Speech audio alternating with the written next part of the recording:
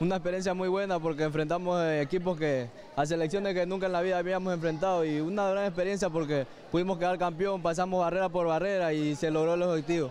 Es una alegría inmensa para nuestra familia, para todo nuestro barrio, para todos es una alegría inmensa. Nosotros, nosotros nos preparamos bien, trabajamos bien y, y eso es lo que recibimos, el campeonato. Se continúa con esta tradición de, de los ceballos como arquero. Sí, gracias a Dios, mi primo y, y yo tuvimos la, la suerte de heredar el puesto del arco como mi tío y como mi papá.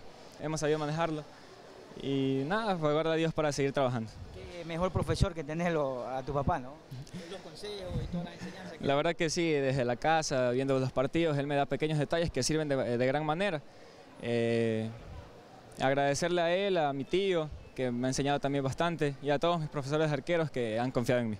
Uy, una emoción muy grande, el último gol y, y mirando todos los ecuatorianos que nos apoyaron ahí en México, una alegría, no, pod- tenía, no podía contener el llanto, pero, pero bueno, ahí se pudo.